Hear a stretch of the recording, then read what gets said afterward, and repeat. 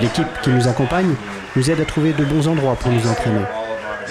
Cette semaine n'a pas été trop stressante. C'était plutôt relax.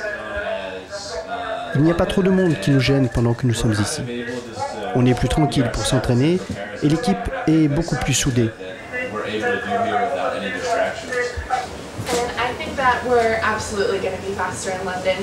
Je crois vraiment qu'on va être plus rapide à Londres. J'ai vu toute l'équipe s'entraîner durement. On règle les derniers détails avant les JO.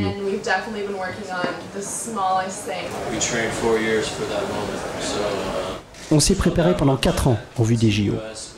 L'équipe américaine est prête pour Londres. On peut espérer des courses parfaites.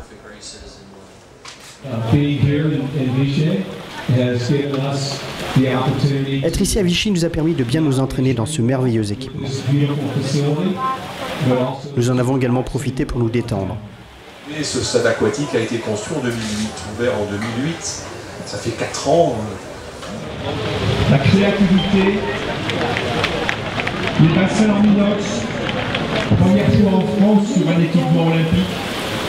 C'est tout cela qui permet aujourd'hui de faire que cette merveilleuse équipe des États-Unis d'Amérique soit présente sur notre sol. Ils sont tous unanimes, ils ont passé une super semaine. Ils sont vraiment hyper enchantés des conditions qui leur sont proposées. Je pense qu'on est qu'au début, au début d'une longue histoire, je pense, de, stage de natation à Vichy. Pour moi, ça a été l'occasion de, revoir quelques amis. C'était aussi l'occasion de voir ce centre de Vichy parce que c'est, euh, j'en ai entendu parler il y a quelques temps. C'est vrai que rien que ce bassin en inox, il impressionne de par sa, par sa splendeur et c'est, une belle nouveauté. Quoi.